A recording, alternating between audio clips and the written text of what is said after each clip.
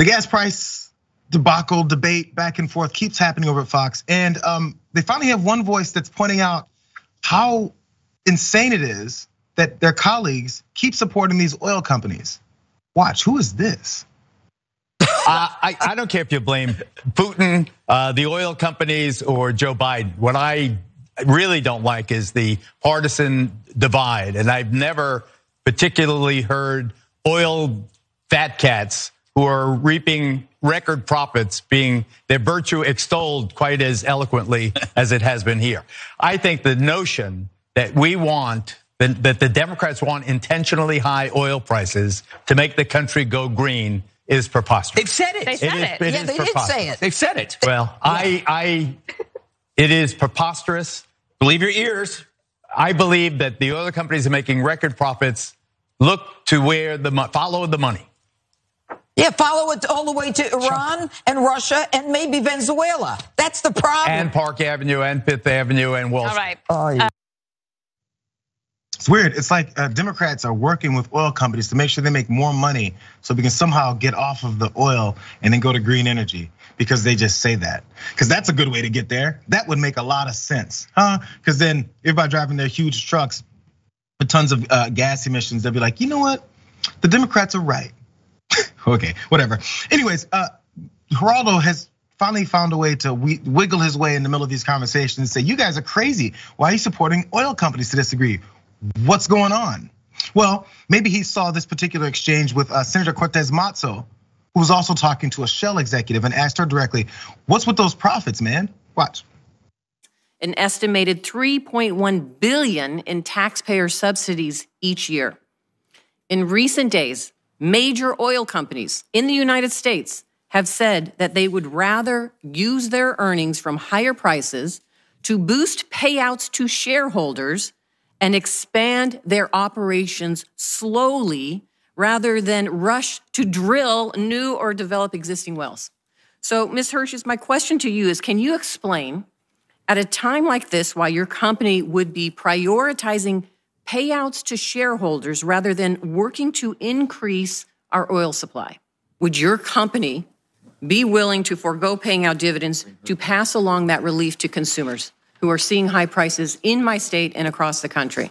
Yeah, so the, the, the prices are something that we do not control. I think that you said that yourself.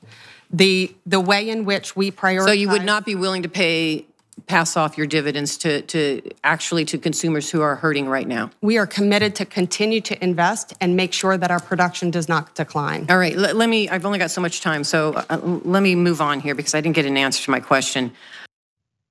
I think that answer was no we're gonna keep that money and you guys are gonna have to fight over this and blame other folks. Leave me out of this, please. Uh, electrons.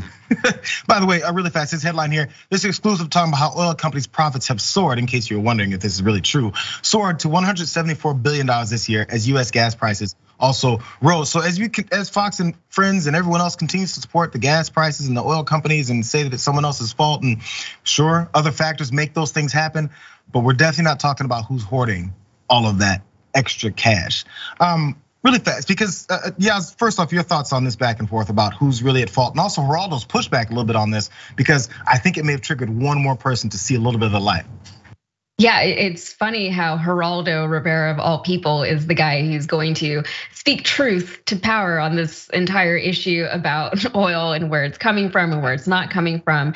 Uh, the problem that I have with most coverage of stories like this one is that there's always this idea that we can blame it on one specific thing or one specific person, right? Like uh, even with the economy in general, as if it isn't cyclical, we know that it is, right? We know that these things come in waves. That's how it's kind of supposed to work, right? The problem is, like what Geraldo of all people was talking about, is that it's not laissez faire economics all the time because you have people manipulating it behind the scenes, sometimes not even very behind the scenes. Like a lot of this is very public information that we can have access to if we look for it. So, him bringing up the corporations and the senator bringing up the dividends and things like that, that's all very pertinent and relevant information. And it's part of the story of why gas prices are high right now. And also, the gas prices that we're experiencing now we're fairly predictable. And like, I feel like anyone who has an understanding of what's going on around the world could have told you that this was going to happen. So it's a matter of managing it. And it's a matter of lessening the burden as much as we can. And these oil companies are making that very difficult to do. Yeah, I mean, everyone's playing a part. If we're all being patriotic and want to stop the, the, the flow of oil or the flow of money going to people like Putin, then maybe we mm-hmm. should all be honest about it. But it's hard to get that answer when people are getting pieces of each part of this information.